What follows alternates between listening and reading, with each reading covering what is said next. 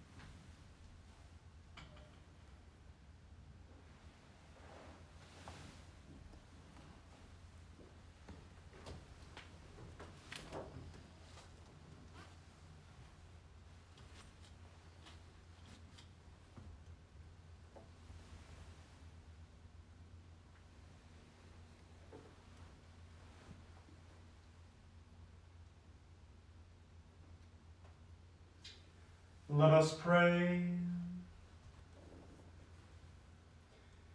O God, our hearts are restless until they rest in you.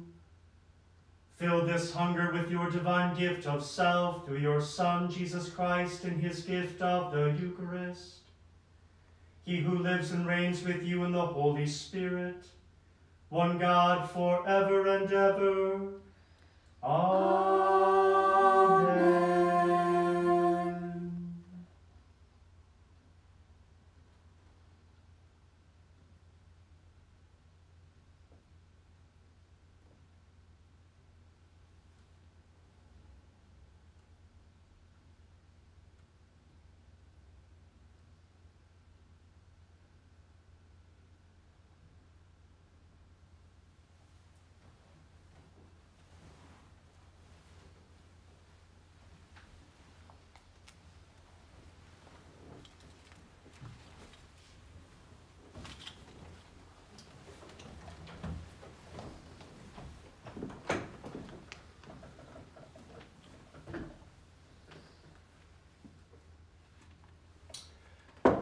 The Lord be with you. And with your spirit, A reading from the Holy Gospel according to Mark. glory Glory to you, O. Lord.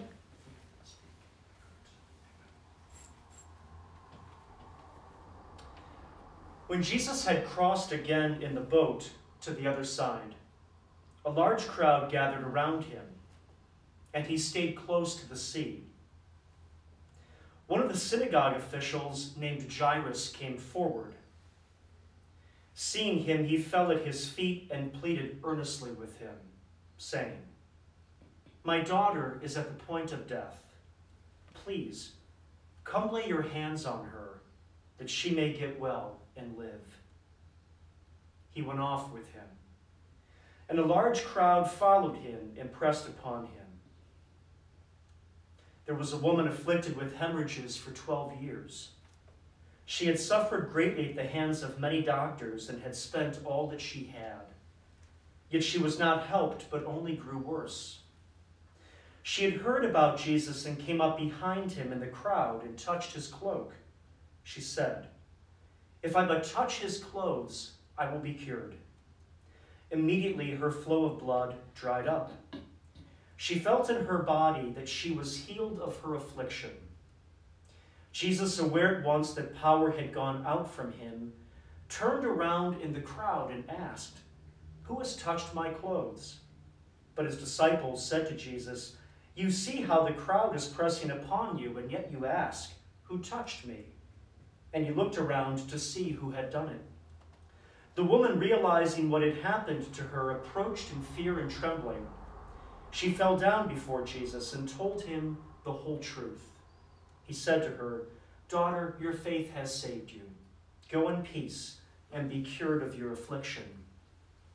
While he was still speaking, people from the synagogue official's house arrived and said, Your daughter has died. Why trouble the teacher any longer? Disregarding the message that was reported, Jesus said to the synagogue official, Do not be afraid, just have faith. He did not allow anyone to accompany him inside except Peter, James, and John, the brother of James. When they arrived at the house of the synagogue official, he caught sight of a commotion, people weeping and wailing loudly. So he went in and said to them, Why this commotion and weeping? The child is not dead, but asleep. And they ridiculed him. Then he put them all out. He took along the child's father and mother and those who were with him, and entered the room where the child was. He took the child by the hand and said to her, Talitha cum, which means, Little girl, I say to you, arise. The girl, a child, a child of twelve, arose immediately and walked around. At that, they were utterly astounded. He gave strict orders that no one should know this, and said that she should be given something to eat. The Gospel of the Lord. Praise, Praise to to you, you, Lord Lord Jesus Jesus Christ.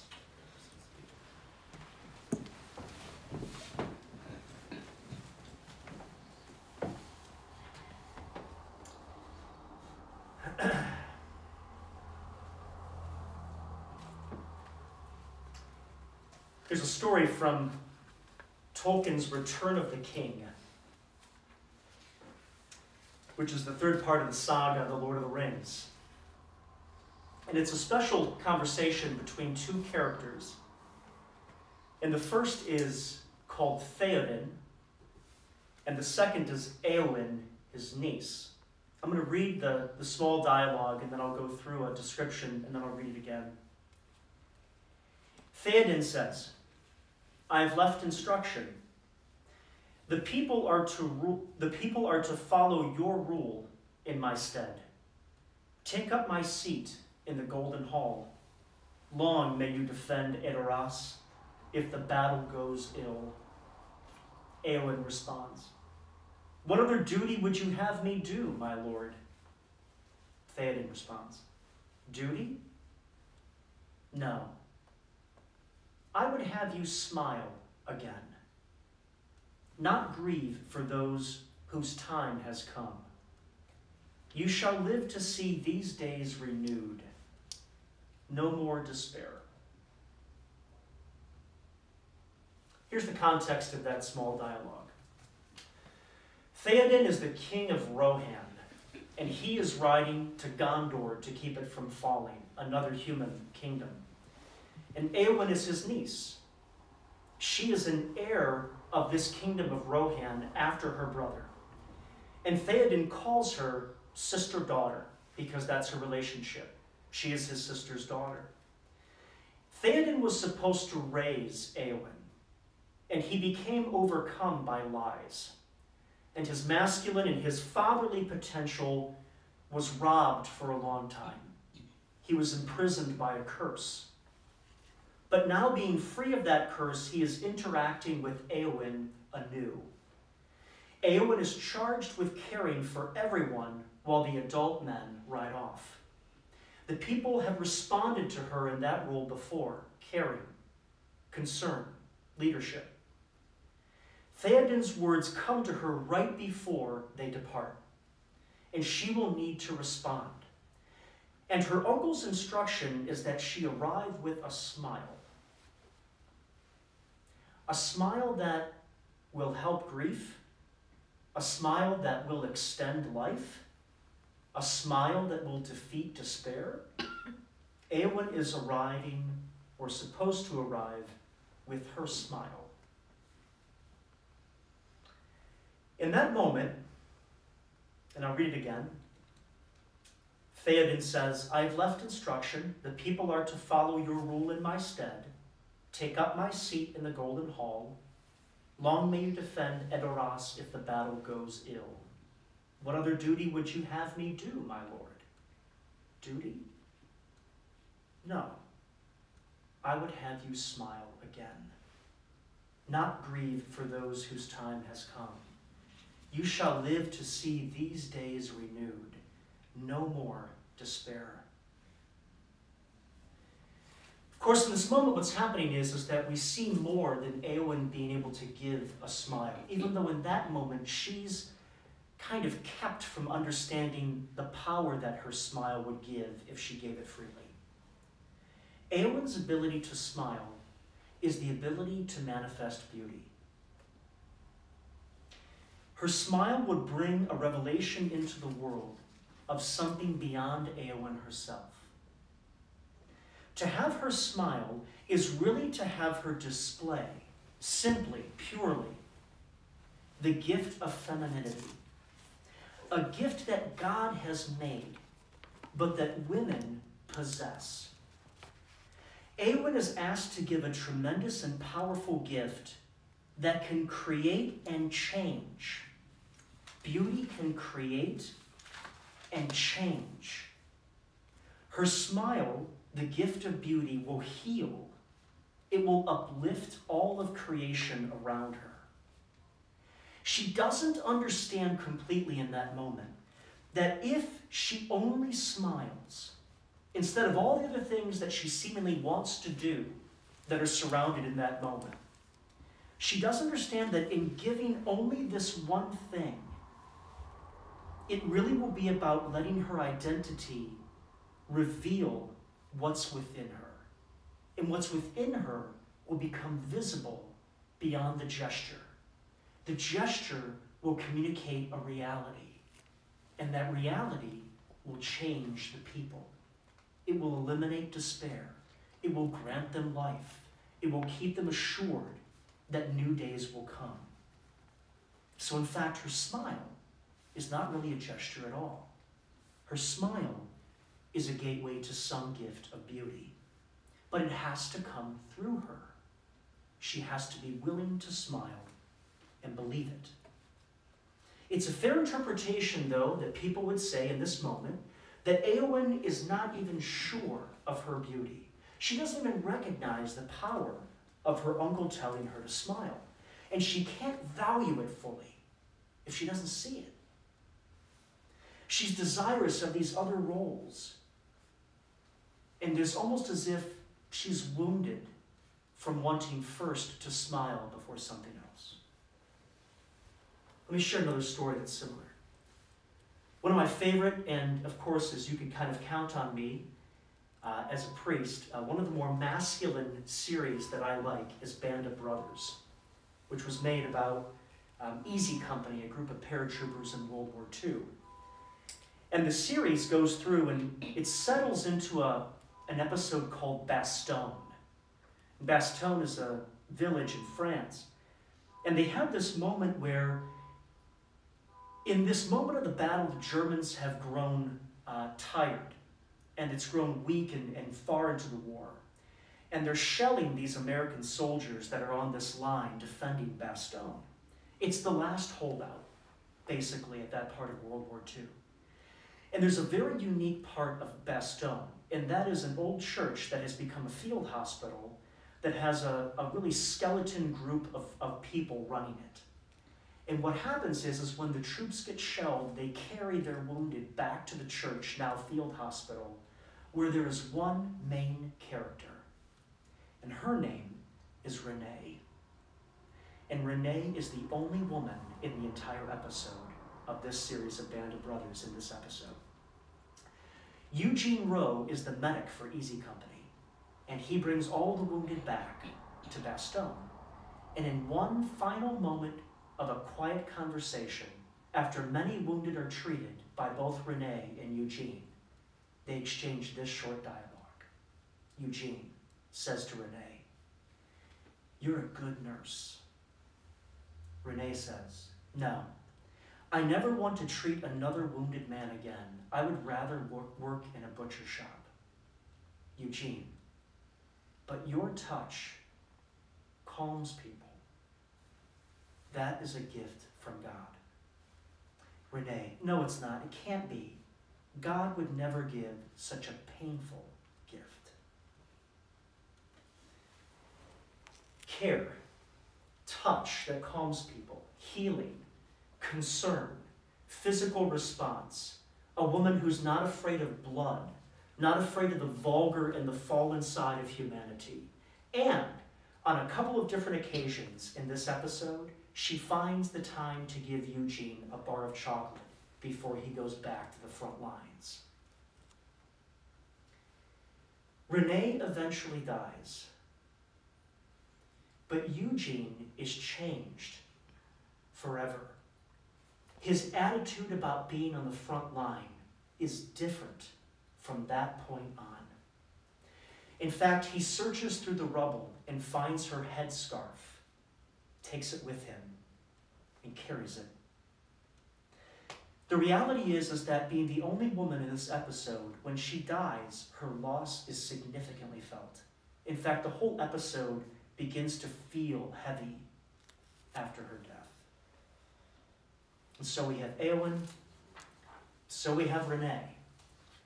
And realistically, I think that we would agree that these are two pretty powerful women. It is true that Renee has the touch to heal. And it's true that Eowyn has the ability to smile and bring beauty and calm and can defeat despair. The question is, is that do they realize who they really are? So who is woman? And we can spend a lot of time on that. But let's go to one simple moment in the book of Genesis. Who is woman in the book of Genesis? So let's cut right to the phrase. It is not good for the man to be alone, so I will create a helpmate for him. That's not a great translation, especially in English. And there are numerous writers that will agree with the exact same thing. I'm quoting them. It's not my own thought. It's tough to say that woman is a helpmate. So it actually comes from several, several words that are very hard to translate. And we get the phrase Azar Kenegdo. And so Eve, for Adam, is an Azar Kenegdo. So how do we translate this? Christopher West says it this, says it this way. The Azar Kenegdo is the strong, saving companion who draws out the best from her partner, from the man. Or as John and Stasi Eldredge have said before, they've written, the various attempts that we have in English to translate Ezer Kenegdo as helper or companion or notoriously the helpmeet, these translations are incredibly wimpy, boring, flat, and disappointing.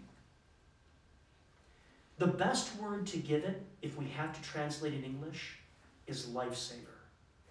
The woman is the lifesaver of the man.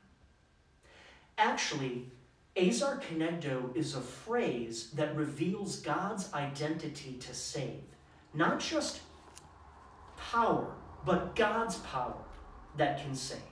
It's a life giving and creating love of God that saves. And God notices the man. And God says the man needs this. And God gives man the Azar Kenegdo in the gift of Eve or in the gift of femininity.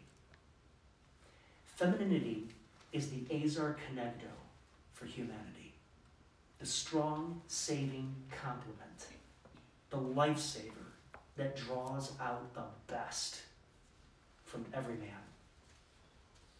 So, a really quick story. In 2018, I went to Theology Dubai. When I heard about this phrase, and when I saw Eve in a brand new way, I saw the women of my life in a different way. It cracked things open. I began to understand why God had given me particular friends. I began to understand why I was being called to get to know various women more in my life as a priest as a man. And I began to understand just how securing women are by their very presence, not by anything that they do per se, just with their presence when they are around me. Women are the Azar Kenegdo. This is who woman is in Genesis. She doesn't have to do anything but smile. She just has to arrive, right? Let's go to Mark 5 for a moment. This is a really key gospel when it comes down to healing because both a woman who is elderly and a woman who is young is healed in this moment. And we have on the way to healing this daughter, we have the healing of this other daughter who has been bleeding for a long time 12 years. And we go through the moment, and she knows if she just touches Jesus' garment, what she's heard about him is, is that he would bring her life. And it's interesting that she feels the flow of blood dry up.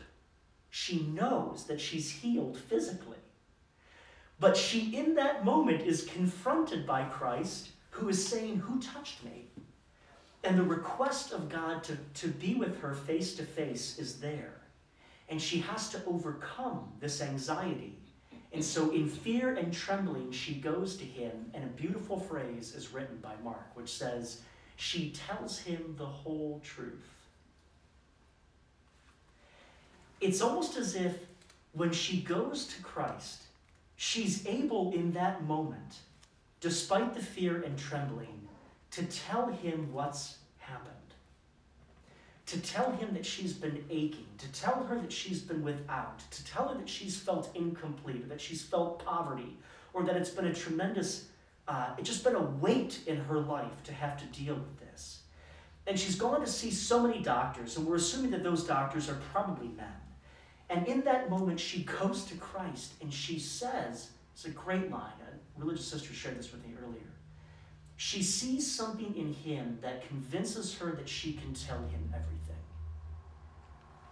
And in that moment, her healing takes place because she expresses the faith of telling Jesus Christ everything face to face. There's something about him. She knows that she can share herself with him. Her physical healing is assured, but now she's able to face him and trust him face to face. We don't know what happens to her after that moment. We don't know what happens to the, to the synagogue officials, um, to Jairus' daughter after that moment.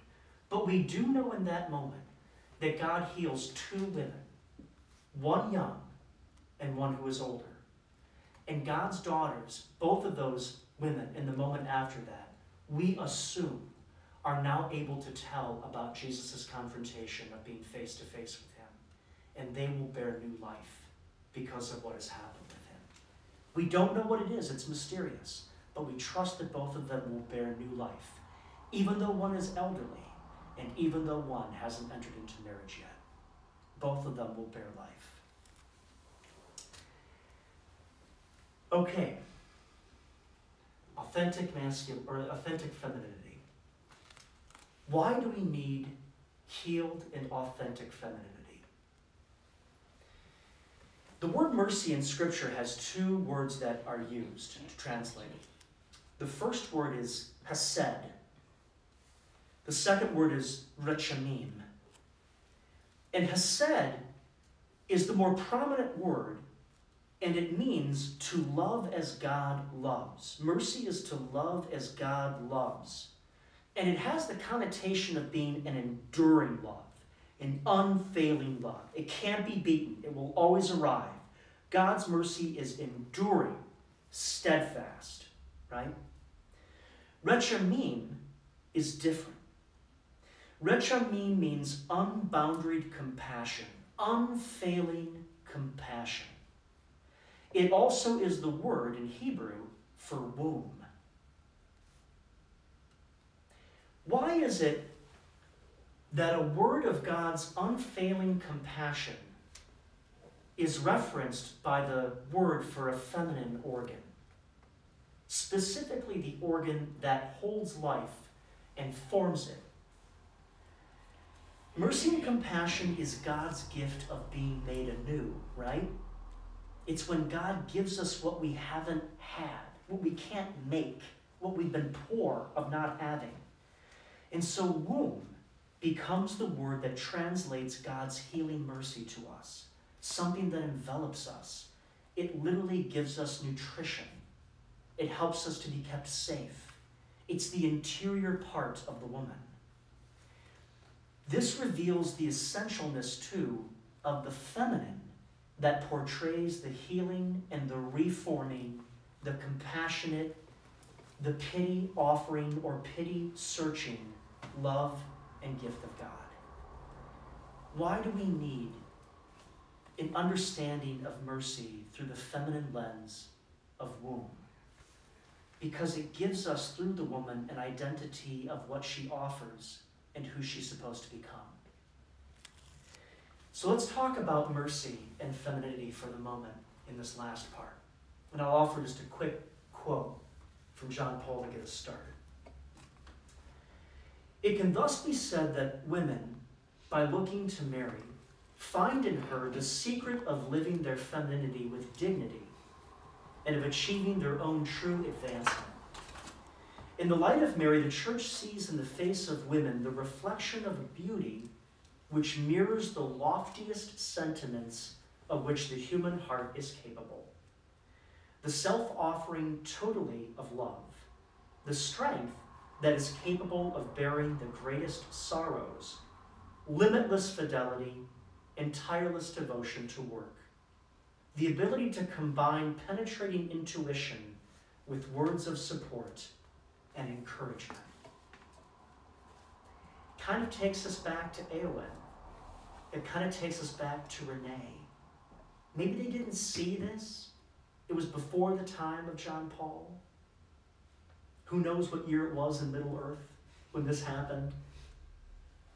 But they're both called to that kind and level of revelation, even though they might not see it in the moment. So I know that there might be some discerners who are here with us tonight. Let's talk about consecrated life and femininity and the need for mercy through women. Religious life is the assuming, the taking on of giving mercy and of reforming or forming anew. Just for a moment, think about what religious women have done. They've taught, they've sheltered the orphan, they've raised them, they've made programs to heal the alcoholic. They bring about newness. They're able to bring about an understanding to the ignorant. They care for, they touch, they welcome, they give a bite of chocolate when you're heading back into whatever it may be, right? They invite you to, your to their dinner table, right? All of these things that religious women do and that they've done. It's like what happens at Bethany, right? Where Martha and Mary and Lazarus become that place of dwelling and rest right before Holy Week begins on Palm Sunday and Jesus enters Jerusalem. What does religious life offer? It's not a list of tasks for women. It's a particular smile. In fact, a woman's charism, a consecrated woman's charism, is her particular smile that she offers to the world. Religious women are literally the fonts, they're the places of rechamim, of God's compassionate mercy that reforms us in the world. To say it this way, consecrated women are figuratively like an open womb, a chaste open womb through which Jesus can welcome and heal the secular, the wounded, the ignorant, the vulgar, anything that's earthly. And then we go back to someone like an Eowyn or Renee, and we understand that they too were meant to welcome all of this and send people back fresh. So, to bear the presence of someone undesirable with the graciousness of your smile, to comfort with your presence, to assure and to affirm with your feminine words. It's like allowing Christ to bear life through you, and it's only a life that you can give as women. The feminine is the life saving force that's been given, right? It saves Adam. The church and Mary, who we see the church through, is the saving force for humanity. It's the feminine that God initiates with and gets her to say, Yes, Fiat, your will be done. And so tonight, we have time with our Lord. It's face to face. There's intimacy. There's initiation by the Lord into our life. There's a calling and something that God places upon us that all of our discerners, all of those that are here tonight know. And the question is, especially for the women who are here tonight or that are watching, how is God asking you to smile? How does God want you to smile? Remember, for Eowyn, it's more than a smile. How is God calling forth new life from you? How does He want something new from you to be brought forth? Every woman, consecrated, lay, married, when they allow God's plans to come alive, they bear through the process of months and through the process of labor new life, Jesus incarnate into the world. And to be receptive and to ask the smile or the way or the vocation or the next step that I have to take to bear God in this world is a very compassionate and merciful way to ask how we can give God away. So here's a phrase for tonight Go to Him, even with fear and trembling. Tell Him the whole truth, whatever it may be, and then offer yourselves, even if others might not know exactly how or what you do, or if it may be mysterious. Go to Him Tell him the whole truth and offer yourselves. There will be a motherhood and there will be a gift of your femininity that would not have existed before. The world would be barren without it. We'll finish the quote from John Paul again. A woman is strong because of her awareness of this entrusting of, of this entrusting. Strong because of the fact that God entrusts her to every human being, always and in every way, even the situations of discrimination in which she may find herself.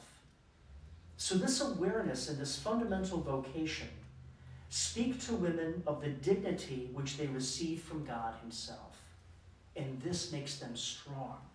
It strengthens their vocation.